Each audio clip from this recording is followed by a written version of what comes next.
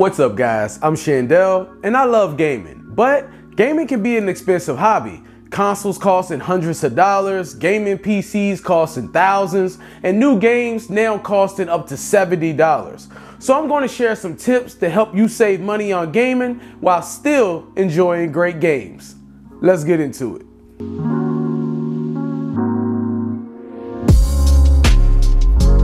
Okay, let's start by talking about buying used games. As long as you have a console that plays physical discs, so no digital PS5 or Xbox Series S. If you're buying a recently released game used, you could save 10 or $20 on a newer title used. For games that have been out for a while, you could save even more.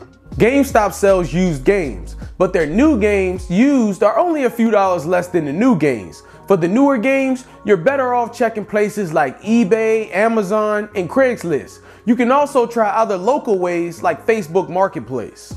But you have to have patience if you're waiting on the recently released games to hit the used market. And it takes a while for the price to go down to a reasonable level. Unless the game doesn't sell well, then it drops quick.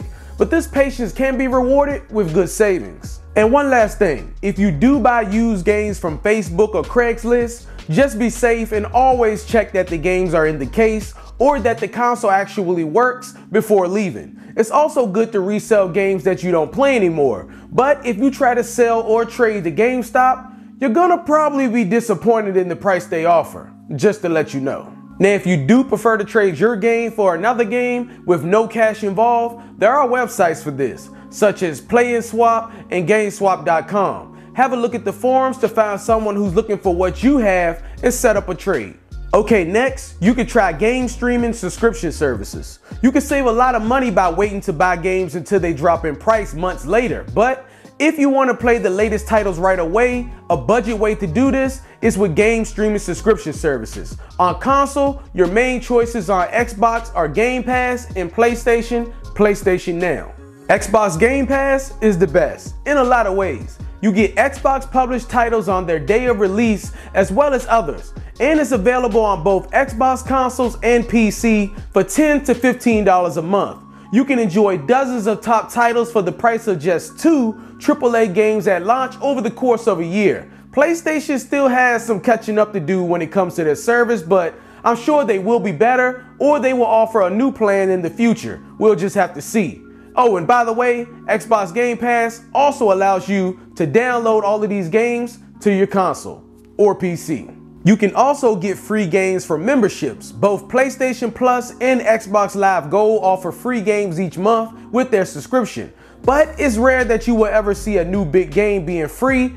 You mostly get indie games or older games but it's still worth adding to your library every month if you haven't played them. Also, PlayStation Plus and Xbox Live offer exclusive sales and increased discounts on their digital stores for subscribers. Now, these might not be cheaper than physical copies, but they are a great way to save if you prefer digital games. Now this next tip is for my PC gamers. You all should take advantage of bundles. The Humble Bundle is a great example. It offers a pay what you want model and you can support charity with part of your purchase. Visit humble.com to check this out. Link in the description below. If you're buying an old console that's been around for a while, you can find some bundles from retailers that include an extra game or controller. However, it's almost always still cheaper to buy a used console from another owner for the best savings. Also, you want to watch for game deals and price drops, but you have to know where to look.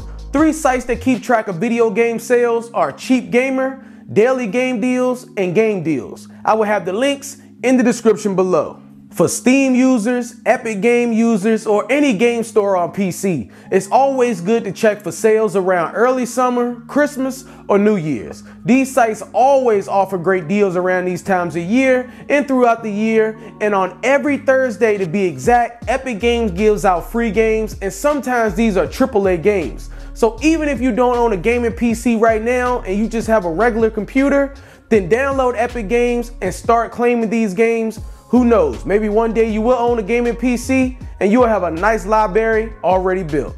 So that is all the tips I have for you guys. Hopefully they help you guys save some money while gaming. If this video was helpful, make sure to leave a like and also make sure to subscribe if you haven't already. And I will catch you guys in the next one. Peace.